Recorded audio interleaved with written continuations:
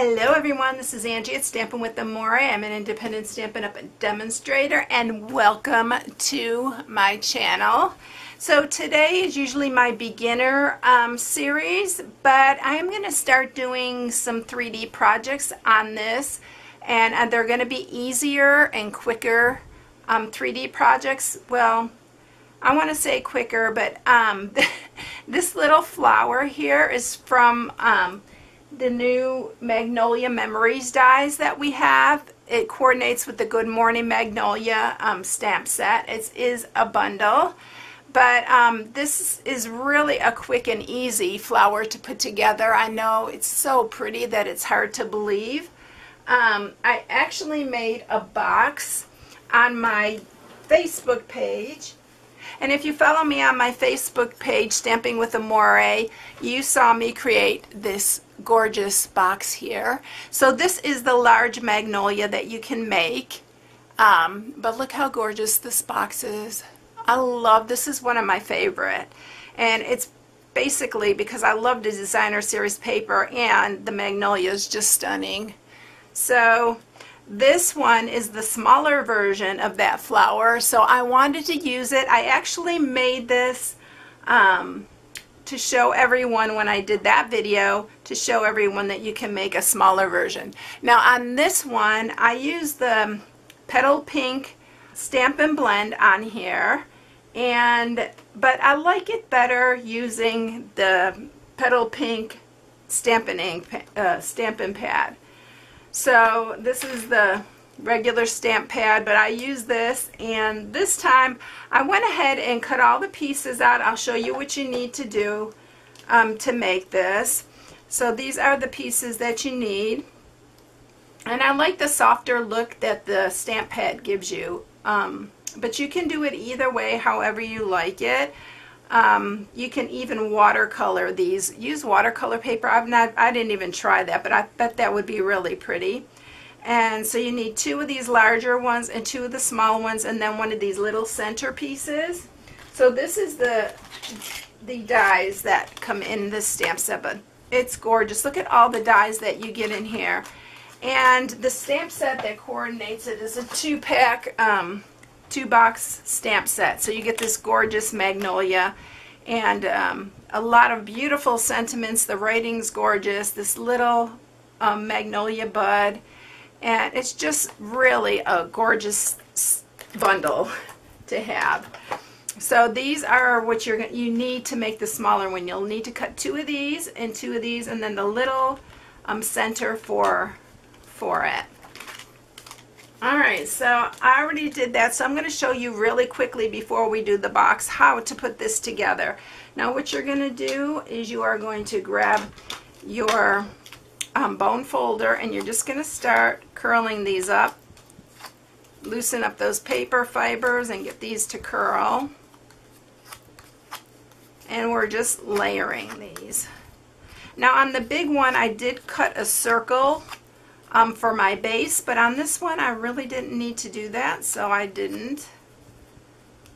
But if you feel better having a little circle, and I think I may have used, I think the one and a quarter or one and a half circle punch for that.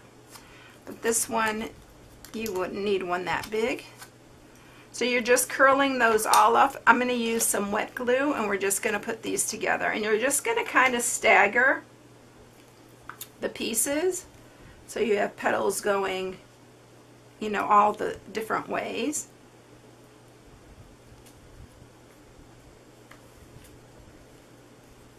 And you're just layering these. It's so really easy to do. And of course, you know, when you're using wet glue, you know that you have to let it um, sit for a while before it totally adheres.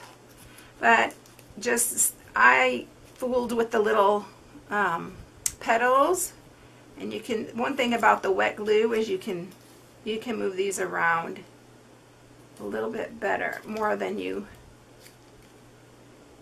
there you go that one's better that way's better. Alright and then I'm taking the little centerpiece and I'm curl giving that a little bit of a curl too. And we're going to place that in the center. And I'm trying to do this fast because I want it to be a quick and easy project. Now what I used for the center, these are for our daisy. We have a new daisy lane um, stamp set and it has the punch and everything and it's for the daisy centers but it's called Perennial Essence Floral Centers. But it looks really cute in the center of these. So, and they are self-sticking. Just have to take the back off of it. And I need my little piercing tool to get that off. It's a little bit difficult with my fingernails. And then I'm just going to place that in the center. You can use any kind of embellishment that you like in the center, but look how cute it looks in the center of that. So that's your little flower that's going to go on this little, it is a Ghirardelli box, by the way. So for this, you are going to need a piece of petal pink. This piece is three by six and a half. And I decided to mat the bottom piece too after I got that all together. So you're going to need one piece that's 1 and 7 eighths by 1 and 7 eighths. And then you need another piece that's 1 and 7 eighths by 1 and 3 eighths. So we're going to mat them both this time and I think it's I'm going to be like it better so that you can see how beautiful this paper is. Now the paper that I'm using for this is also the Magnolia collection and it's called so it is the Magnolia Lane and this paper is gorgeous. I'm definitely ordering another pack of this. I know I will use it like crazy. I love the stripes in it. I love the flowers. The black with the um, petal pink is beautiful. Look at the patterns on this paper. It's just gorgeous. And so we're using this one right here. All right, so let's get our Simply Scored. And we are going to score this on the six and a half inch side. We're going to score it at two, four and a half, and five. And then we're going to turn it and score it on the three inch side at one half and two and a half. Or it's one half on each side. And that is as quick and easy as it is. All right, so the first thing we're going to do, this is the top part. We are going to cut this off. This is going to be the piece that folds over. We're doing that on both sides.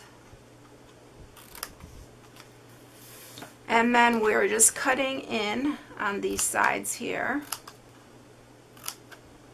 And I always take a little bit away to make it a little bit easier to fold in. And I'm going to shorten those just a hair. Seems to help a little bit. Alright, so we're going to sharpen all these score marks. And then we're just going to adhere it.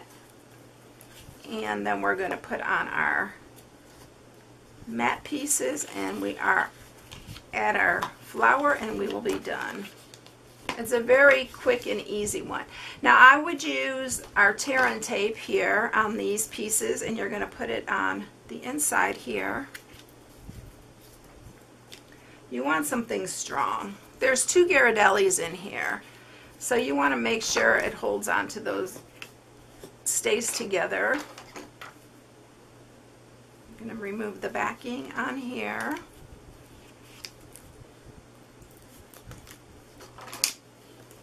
Tuck in your little tails there and then just bring these up and line them up.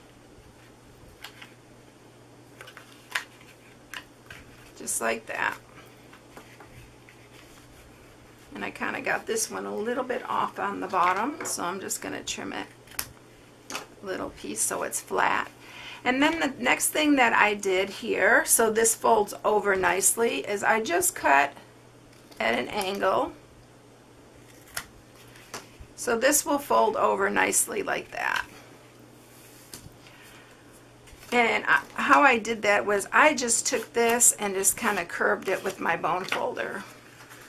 So it'll just fold over nicely like this. So let's get our mat pieces on. I'm going to use some snail for this. So we're putting one on the bottom here.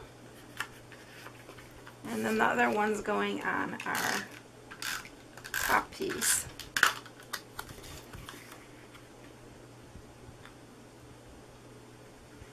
It's so pretty, this paper. Got it a little off-centered there.